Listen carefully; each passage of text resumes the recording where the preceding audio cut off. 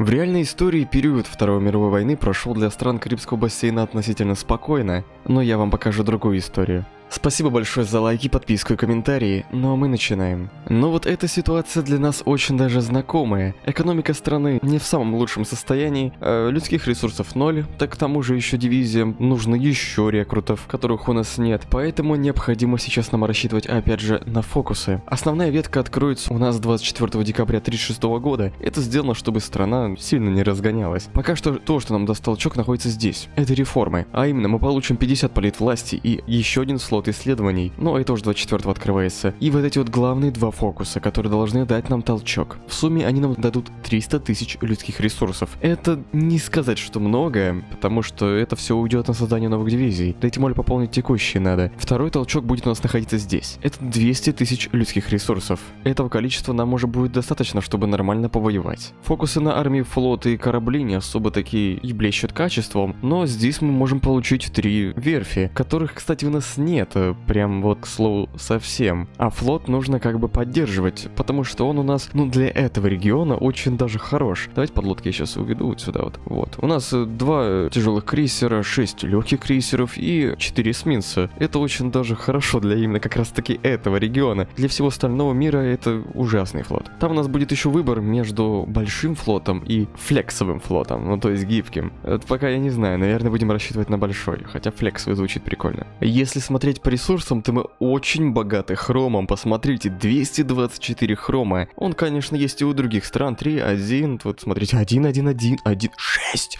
Вау! Вот, и то есть эм, я сначала думал то, что мы этим будем торговать. Потом я подумал, кто же у нас это будет покупать? Страны Латинской Америки особо не используют хром, потому что это для тяжелой техники нужно. А они как бы немножко там хотя бы автоматы сделать. У Америки в начале игры вряд ли будет нужен хром, потому что Америка только ближе к 40 году начинает делать что-то тяжелое в нормальных количествах, чтобы им нужно было еще и закупать этот хром. В Европе никому хром нафиг не нужен, потому что Турция здесь просто бога хрома, барон хромный, так сказать. Все у нее закупают, да и тем более там и так у них, смотрите, хватает из своего хрома. Поэтому мы будем держать весь этот хром у себя. Просто будет отлеживаться, вот так вот. Может там Америка чуть купит, посмотрим. Потому что у нас сейчас три фабрики, о, четыре. Кто-то купил? Америка? Да, да, да, Америка купила у нас. Ну, видите, это инвестиция небольшая, совсем небольшая, ну, хоть что-то, понимаете. Вот, и на торговле маленькие страны, если имеют много ресурсов, то им желательно выходить, потому что инвестиции мелким странам просто необходимы. Таким вот, допустим, как мы, потому что ресурсов много, мы их особо не тратим, а покупать некому, да. Давайте-ка получим как можно быстрее один э, слот исследований, потому что чем раньше мы начнем исследования проводить в большом количестве, тем как бы лучше. Фокус короткий, но при этом мы все равно потом застопоримся в эти вот, э, в эту вот дату. Может что-то здесь тоже изучим. Так, теперь нам нужно Manpower взять, это обязательно. И в первую очередь я планирую захватить Гаити. Но, ох, как все реально быстро. 14 дней ядрить меня, закупщик. Очень быстро. Обожаю такие фокусы. Вот, в первую очередь планирую захватить я Гаити. А высадочку, наверное, буду делать сюда, потому потому что здесь река. Хотя у нас там есть генеральчик один, который умеет через реки пускать свою армию красиво. Но вряд ли он перекроет весь дебаф, поэтому, наверное, лучше все-таки сюда. Насчет генеральчиков, давайте посмотрим. У нас здесь имеется Фидель Кастро и Че Гевара, и еще мужик он второго уровня, поэтому, прости, ты нам вообще не нужен больше. У них странно четвертый, третий уровень, но все по единичке скиллы. Класс просто. В общем, Фидель Кастро, он э, получает плюс 15% к атаке артиллерии, и еще неплохо орудует в холмах. Че Гевара же, он 25% к разведке получает, также в холмах хорошо себя чувствует чувствует, и в лесах то же самое. Но при этом можно дать ему еще один навык. А это дорогого стоит, потому что с такой-то камбушкой плюс еще один добавить, это круто. Но все-таки нам нужен будет Фидель с его атакой плюс 15%, потому что она будет на всех генералов обращаться. Поэтому давайте-ка мы его повысим и сделаем фельдмаршалом. А Че Гевара у нас будет самым главным генералом. Прокачаем мы ему... Ого, блин, сразу же можно прокачать ему приспособленца. Это очень ебовый навык. Сразу же его нужно брать, как только видите. Он уменьшает на 50% дебафы от неблагоприятного ландшафта. Блин, возможно, стоило его сделать фельдмаршалом, но все-таки вот это плюс 15 к атаке, оно очень соблазняет. И посмотрите, у нас сейчас стоит ограниченный призыв со старта игры. То есть мы с ограниченным призывом имели 0 людских ресурсов. Это просто немножко жестко. И, кстати, мы же там получили 300 тысяч. Но, как я и говорил, у нас не хватает еще в наших дивизиях рекрутов. Поэтому в итоге у нас сейчас 267 тысяч всего лишь. Ну, на старте нам этого хватит. Я думаю, вполне. Потом, конечно, придется повышать, а это уже начнутся минусы. И, кстати, у нас сейчас имеется свободная торговля. Поэтому мы большинство наших ресурсов, а именно 80% мы продаем. Но если я закрою экономику или там просто, допустим, опущу этот процент продаваемых ресурсов, то мы там получим стали чуть-чуть побольше. И толку-то от этого. Поэтому мы получаем больше бонусов, имея плюс 15 к производству заводов, верфей, еще имеем плюс 15 к строительству и минус 10 к исследованиям. Поэтому свободная торговля это самый лучший для нас вариант и похожих стран. Как я уже говорил, все на продажу, то, что не используем, и получаем хорошие бонусы, потому что строительство и производство это очень классно. Я повысил еще законы экономики здесь чуть-чуть. Это дало нам там две фабрики. Так, давайте-ка сделаем, а что, концентрированную, либо же рассредоточенную? Ну, знаете, просто у нас остров не такой большой, чтобы тут держать всю основную промку, и нам придется строить ее на континенте. Поэтому здесь, наверное, лучше всего взять будет именно рассредоточенную. Потому что бомбить же будут все-таки самолетами, а мы самолеты... Ну, я попытаюсь там сделать хотя бы сотню истребителей, ну а толку-то от них? Нифига себе, тут Кастро можно набрать всяких там умений. Я взял восстановление дивизии плюс 10%, введение резервов плюс 2%, это повышает шанс, то, что наши дивизии в бой войдут, они будут сидеть в резерве. Можно еще взять э, потери организации при передвижении, либо же 30% к защите. Но давайте возьмем потери организации, это нам точно пригодится. Также у нас сейчас растет политвласть, о, готова уже артиллерия, и скоро, кстати, уже мы сможем брать эту ветку. Там начнется самый уже экшончик. Ах да, кстати, блин, надо же получить как можно быстрее три верфи. Потому что, а хотя, о каких трех верфях может идти речь, если мы не имеем ресурсов для производства кораблей? У нас прям вообще стали не хватает. Все уходит на пехотку. Доктрина тоже изучилась. Давайте-ка еще организацию повысим нашим дивизиям. Кстати, Гаити, у тебя там... О, всего лишь одна дивизия. Неплохо. Демократия. А вот э, Доминиканской республики уже 3-4. Сюда делать высадку опасненько. А сюда более-менее еще. Кстати, насчет дивизии, у нас же там есть три звездочки вот эти вот. Они убогие. Это полицейская, считайте, дивизия. Она нам не нужна совершенно. Я ее переведу вот сюда. Вот давайте-ка это сделаем. Хоба, хоба, хоба. А, все, у нас на складе все эти ресурсы были для перевода, поэтому прекрасно. Так, давайте-ка сейчас я блесну своим английским. Правительство действующего президента нации э, больше не может э, быть лидирующей силой в стране. Поэтому лидер оппозиции Батиста уволил нашего президента.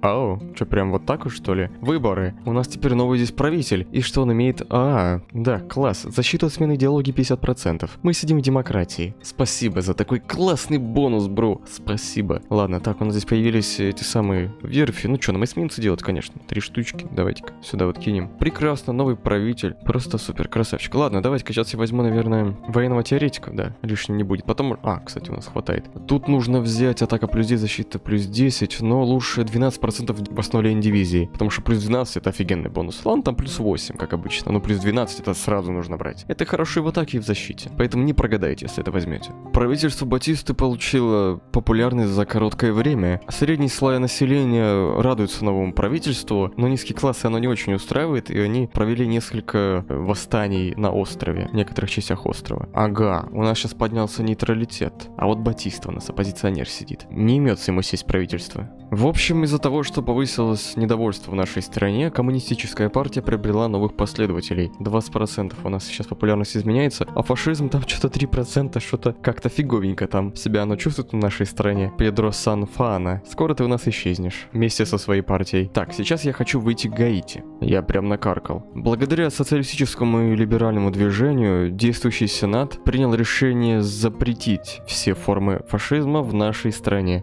Ау, минус 10%, так там вообще как бы 3% всего было. Вот и все, теперь у нас в стране только три действующие партии. Это нейтралы, оппозиция, коммунисты и демократы. И, кстати, демократы сдали немного свои позиции, поднялись оппозиционные партии неплохо так. А, и еще что я хочу здесь взять. Можно взять, конечно, лошадку, которая будет повышать нам политвласть, но у нас она и так хорошо растет, серьезно. Поэтому, я думаю, взять стоит нам... Э, что нам стоит взять? Скоро строительство военных заводов и верфей. О, это нам надо точно. Так, совсем скоро будет ивент, связанный связанные с Гаити. Аннексия Гаити. Пару дней назад правительство Гаити получило сообщение от президента Кубы. Сдавайтесь или умрите. Оу, они приняли. Ну, понятное дело, у них там всего лишь одна дивизия. Мы могли бы, наверное, не париться сразу прыгнуть в столицу, и они бы сдались. Так что это вообще не проблема. Далее, что у нас там идет, давайте посмотрим. Коста-Рика, это что, выход на континент сразу же? Либо же нам стоит... О, 5%. О, кстати, эти фокусы милитаризации молодежи, 5% милитаризм, это обычные фокусы с фашистской ветки поленились чуть разорвы. Эх,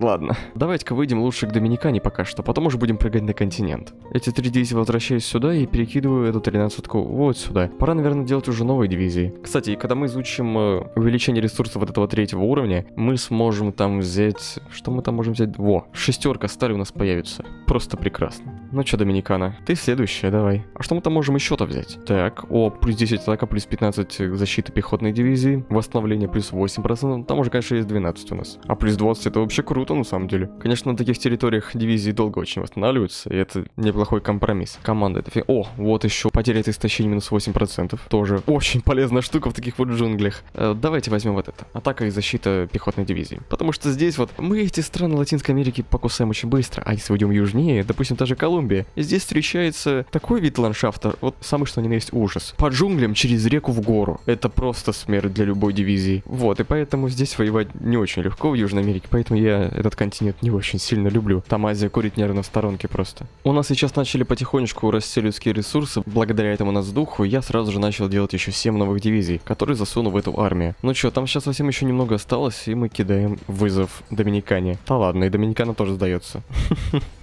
Нет, Доминикана могла нам выразить как бы там немного сопротивления, но все же она выбрала не сопротивляться. Окей, понятненько. Ладно, давайте три дивизии мы сейчас уберем отсюда, чтобы была возможность сделать высадку. И я сразу же ее прорисую, прорисую в Коста-Рику. Коста-Рика, ну чё, а ты там как там по? А, Ха-ха-ха.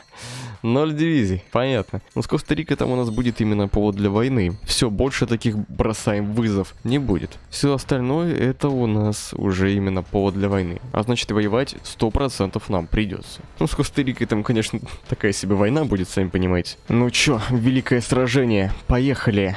А, во, все. Так, что, очков не хватает, что ли? Серьезно? Вот и все. Получила Куба выход к континенту.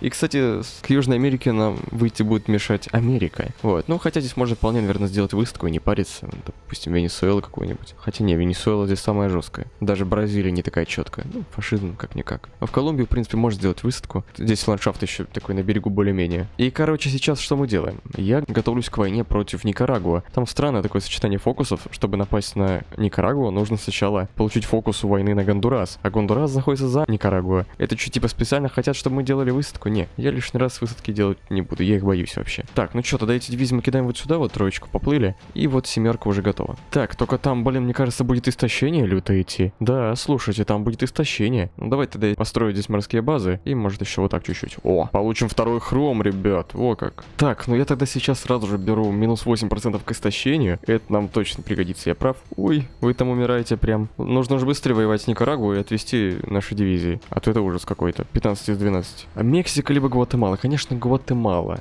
Потому что куда там на Мексику это прыгать еще? Давай-ка вот так вот мы поступим. Конечно, тогда пораньше начертить, чтобы план они уже заранее приготовили. Ну, при... О, господи, что с дивизией? Что ты такая долбанутая? Все, успокоилась. Что это такое? А, можно получить Страйксовая стабильность. Ну, тут мы теряем политвласть, которая у нас, кстати, вполне достатки. Посмотрим, что это такое. А, ничего не произошло. Ну ладно, буду знать. Короче, заканчиваем. Все, готово. Хоп-хоп, все. Что по истощению? Блин, все равно истощаемся. Ладненько, давайте-ка идите сюда. Теперь у нас на очереди идет Гондурас. Ну, в общем, что я сейчас сделал, я расскажу, потому что у меня сломался фрагмент в 3 минуты записи. Да, за это время я захватил Гондурас и Гватемалу. Это было очень быстро, просто столицу взяли и все. Вот, короче, война с Мексикой у нас скоро будет. Я что сделал? Я начал готовить 10 новых дивизий, но появилась проблемка, у нас не хватило support equipment. Там было минус 600. Поэтому я закупил сталь и алюминий, у нас сейчас фабрик 4 штучки всего лишь осталось, но зато скоро будут готовы дивизии, и что я ими сделаю? Я ими сделаю высадочку вот сюда вот. Зато быстро мы выйдем к столице и перережем, так так сказать, сердце Мексики. И тут мы не будем много терять, потому что здесь горы, холмы, джунгли. Вот такая вот река здесь, чтобы встать за ней на глухую оборону и отдыхать. Поэтому меньше потерь будет, если мы просто-напросто э, сделаем высадку. И они будут вынуждены отводить туда дивизии. Так, а горники, идите сюда, пожалуйста. Чего вы там стоите в джунглях? Не понял. Скоро на все будет дело готово у нас, и я сделаю высадочку. Также я позже выйду, наверное, вот сюда вот и получу еще две мастерские гражданские. Потому что у нас нет ресурсов совершенно, и поэтому приходится закупать их, отдавая свои гражданские фабрики. Ну вот вот я, видите, поэтому их и строю. Кстати, вот разведку нам поставить в дивизии вообще стоит. Но